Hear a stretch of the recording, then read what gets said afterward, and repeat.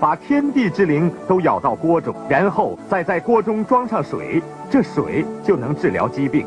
仅需一口锅就可以治疗百病，这样极具荒唐的理论，就出自三十年前曾在我国兴盛一时的信息锅骗局。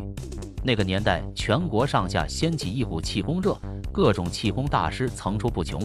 这些伪大师们编造出各种谎言骗局，骗得底层百姓团团转。画面中是一九九三年，一位名叫黄润田的伪气功大师，为了销售铝锅，编造谎言，宣称铝锅有着包治百病的作用。在他巧舌如簧的讲述中，台下的信徒们纷纷将铝锅扣在头上，然后盘腿坐在地上。闭目养神，感受着铝锅带来的疗效。这款铝锅还被赋予了一个听起来很高端的名字——信息锅。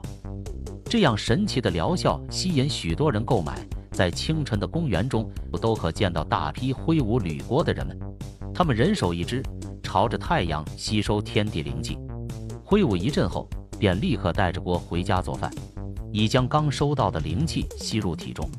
信息锅骗局的形成。与当时兴起的气功热脱不了干系。当时报纸媒体大肆报道气功和特异功能的神奇，再加之那时的底层百姓普遍文化水平不高，所以才兴起这些荒诞又可笑的骗局。